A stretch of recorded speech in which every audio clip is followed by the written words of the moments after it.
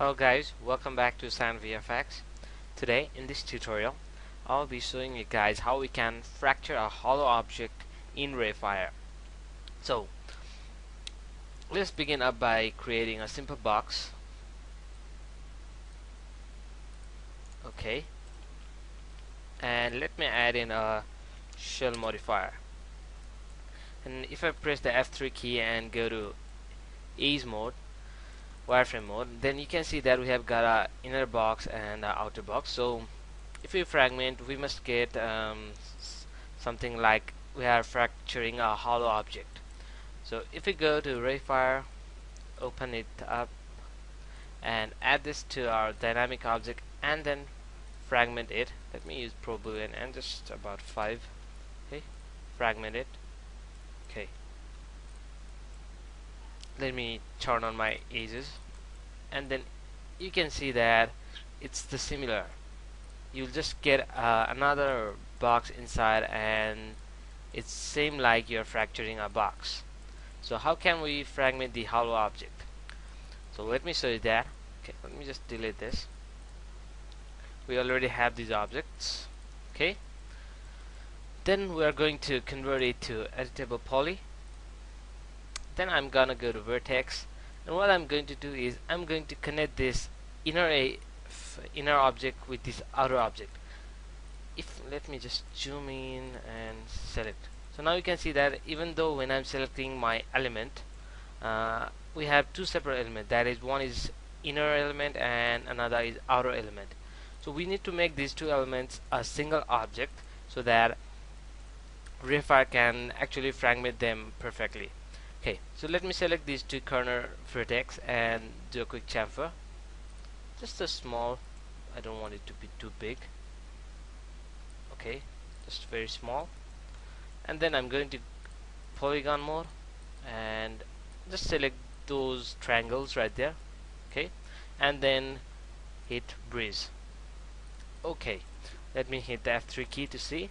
Have got this small hole right here but that do not um, is not noticeable so it won't have any problem. Now if I okay it's already added. Fragment my object. Now you can see that we have hollow inside. So that's how we can fragment hollow object using Rayfire till now we don't have anything uh, any options which can fragment hollow object. So uh, I heard that uh, it is in the phase of development. So in the next version uh, we'll get the, the options which will allow us to fragment uh, hollow objects easily. So till now we'll have to do that same technique. And the next thing to keep in mind is we can only use pro boolean or ProCutter fragmentation for this type of object. Uh, Voronoi uniform does not works nicely so we'll have to use pro boolean or ProCutter. This was actually a simple geometry so let me just uh, use a sphere for another example. Okay. And here we have lots of vertices. So let me add in a shell modifier. Okay. And then again convert it to editable poly and hit the F3 key. So now you have got lots of segments. So it will be a little difficult for you to find out the vertices. So you can just use these top two vertex. Okay. These two. And then let me just chamfer them. Okay I don't want that too much. Just a small amount okay. And then just select those objects. Sorry those faces not objects. Okay.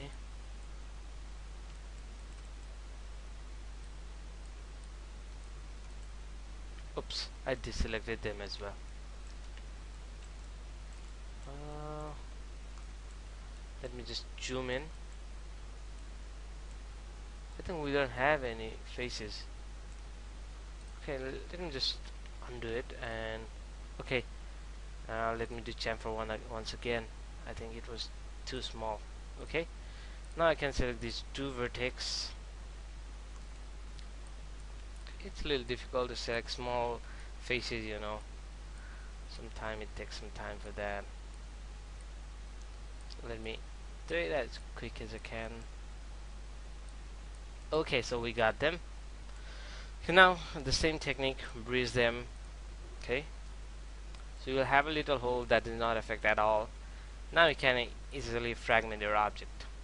Okay. So you can see.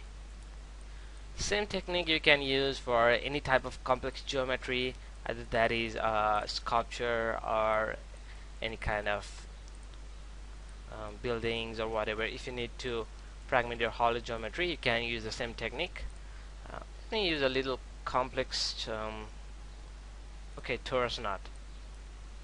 Okay. Okay. Let us try to fragment this one. Let me just delete these all. Okay. And then apply a shell modifier. Okay. A little bit bigger. Okay. Hit F4 key and then convert it to a editable poly. Now using the same technique we'll just select two uh, vertices. Uh, us find someone. Okay this one will be fine I think. Okay. And then let me just um, do a chamfer. Small amount.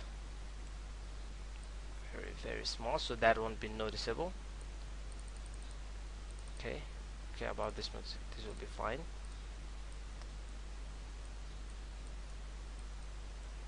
okay we got them. And then let me bridge them again. The same technique. And F3 okay. So now if you select these objects you will have a single element. The even the interfaces is single. So if you go inside and try to select them it will just be a single. You don't get two different elements like we had before so now you can again add them and fragment. And remember not Voronoi, ProBoolean or ProCutter okay? So here we go. We get these hollow fragmentations. Okay.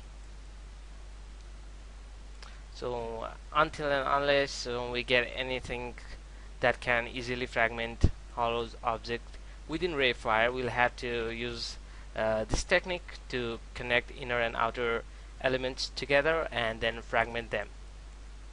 So I hope uh, it helped you guys. Uh, it was quite a short tutorial. We'll see you next time in another tutorial. Thank you till then